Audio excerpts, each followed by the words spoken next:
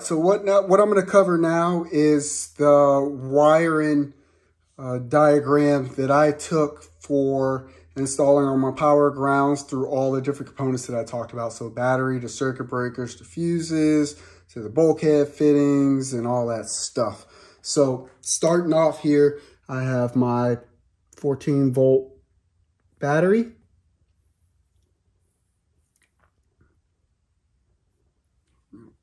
And I got my power. And then that's going straight to, the first thing would be the 200 amp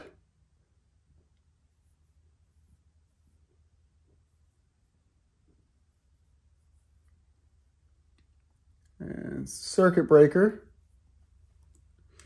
I'll highlight that in red because it's a power only device. And that power is going to that. Next would be the data panel cutoff switch.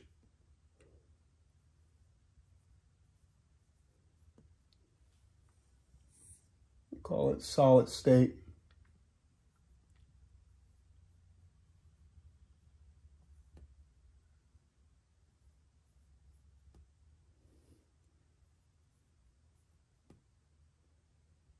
And 300 amp because it is. That will also do in red because it is pretty much a power only device. All right, so now the 200 amp circuit breaker is feeding the data panel cutoff switch.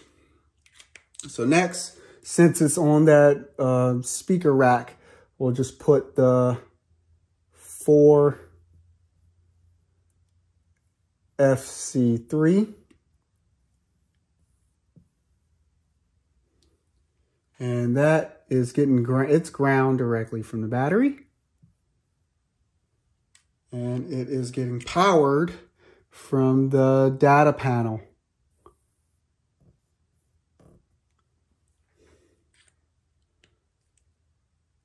Next, we will do, the battery is feeding a frame ground that's in the trunk.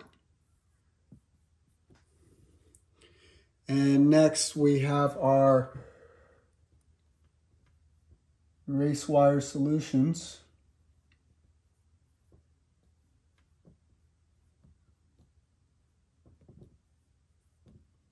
Call it relay module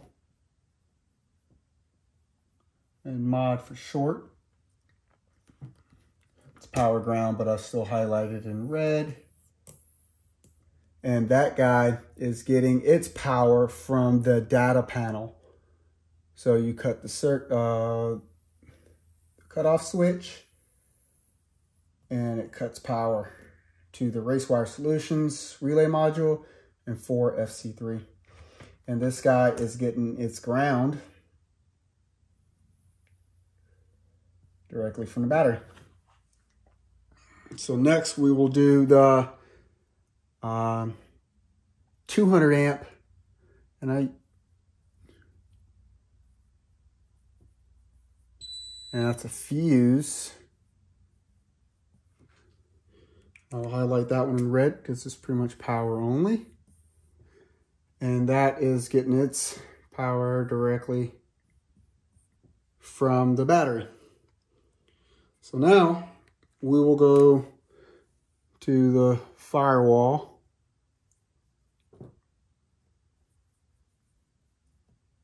Bulkhead.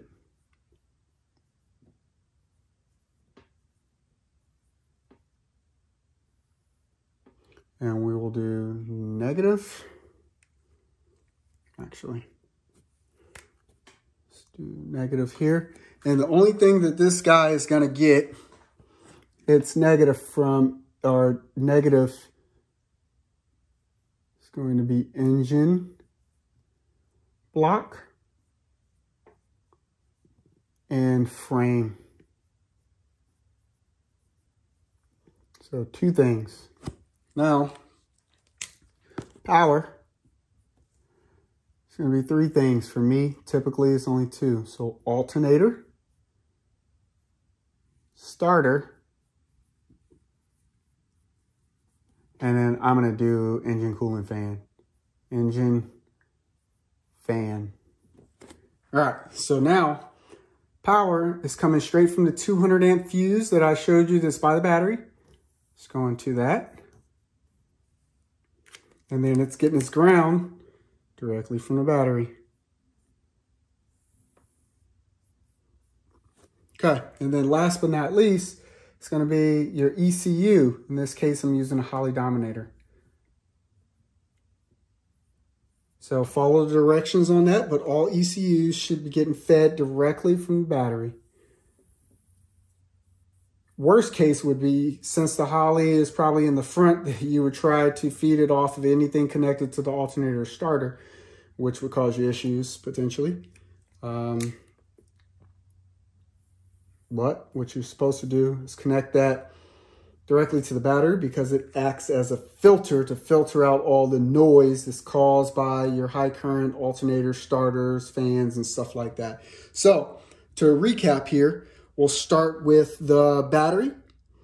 And my battery feeds that 200 amp Bussmann circuit breaker, the switchable one, which then feeds the data panel solid state. So now it's a short run, so you probably don't need any kind of circuit breaker or fuse. I like the switchable ones because it actually, it also adds this like a theft of deterrent, so I can just go there and kill power. Or more importantly, if I want to cut all power to the car and be for sure it's cutting, most people would just disconnect the ground terminal from the battery. Well, I can just come and cut power off of the car at the circuit breaker with the flip of the switch. So I like that. Then it feeds the data panel, the solid state cutoff switch, which then the 4 FC3 is there, and that's getting its power from the data panel uh, cutoff switch. And then it's also giving power to the RaceWire Solutions relay module. So if you hit the battery cutoff switch in the rear of the car, it's cutting off power to the fuel pumps and it's cutting off all the power to the car uh, from the relay module just like how it should be if, if you had the car, um, if you didn't have the relay module and you're using your fuse blocks, as you would, should have it the same way. So when you push that button, it cuts all power to the car. Uh, understand that the Holley will should be controlling our FC3. So when you cut power to the battery, it's sensing that the power is cut off by the relay module and it's cutting power to the ECU. This is just like a secondary, tertiary, so have it uh, to ensure that fuel is getting cut off uh, to the car. So FC3 relay module, and then uh, don't forget to ground or uh, fuse that long run of battery cable that's going to the firewall as close to the battery as you can. So I use a 200 amp fuse. I am using a Nations 200 amp alternator. There's a formula that you can use to figure out how big of a fuse that you need. I actually have a 225, which I think is what I have to use. Uh, when you start the car up, there could be surges, but um, most circuit breakers or fuses can handle a quick surge, just amount of time that they're over the 200 amp threshold that they'll be caused to pop. Anyway, if I pop that, I'll just put a higher one in there for like 225, and I think that's fine. Um, but you need to figure that out and do the math to figure out what size fuse you need for your setup. Uh, anyway, that's now going to the firewall bulkhead where I'm only using that firewall bulkhead for the alternator starter and in my case, the engine fan, uh, high load items. Uh, and the noise is going straight to the battery. The RaceWire Solutions isn't going to pick up any of that noise. The Holley ECU for sure isn't going to pick up any of that noise and then I'll do engine block and frame. And uh, honestly, I'll probably ground the engine fan to that same uh, point as well. But other than that, there you have it. That is how I am setting, I wired my car up. Hopefully you were able to follow along and my handwriting is definitely on the board. It's definitely not good, but uh, hopefully you understand that. Hey, well, thanks a lot. If you have any questions, just drop them in the comments section or you can shoot me a message on Facebook and I'll uh, help you out to answer it as much as I can. Or if I got something wrong, uh, help me out. Let me know. Um, make, help me improve. Thanks a lot. Take care.